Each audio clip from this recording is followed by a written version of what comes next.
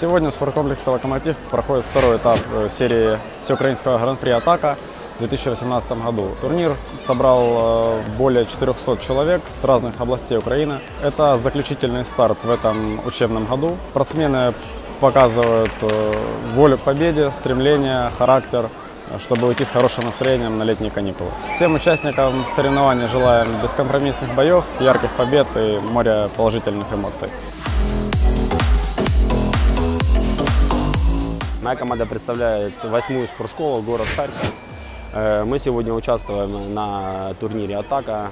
Он делится на четыре этапа в течение года. Э, Сегодня у нас второй этап. Мы всегда с удовольствием участвуем на этом турнире. Организация турнира всегда на высшем уровне. В этот раз у нас очень много участвует спортсменов на этих соревнованиях, около 430 участников. Бои на этих турнирах всегда очень интересные. Сюда приезжают спортсмены, как и новички, которые делают первые шаги только в своей спортивной карьере, также и спортсмены принимают участие, которые уже были и на международных турнирах, на чемпионатах и мира, и Европы. Хочу пожелать всем участникам соревнований очень красивых, хороших боев и достойных побед. Я не первый раз выступаю на этом турнире, и я очень хочу победить. Тем более, этот турнир организовал мой тренер Долгополов Андрей Васильевич. Этот год для меня очень важный, потому что я 6 лет шел к моей мечте, чтобы получить черный пояс. Это первая атака, с которой я выступаю с черным поясом. Соперники мои сегодня будут достойные, но я приложу все усилия, чтобы победить.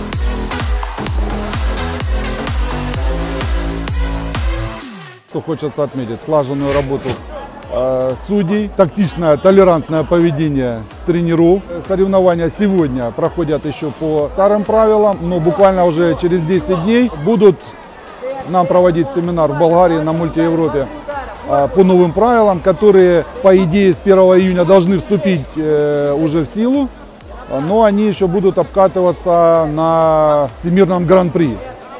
И если обкатка новых правил пройдет успешно, то следующий этап, третий, гран-при атака, который состоится в сентябре, уже будет проходить по новым правилам.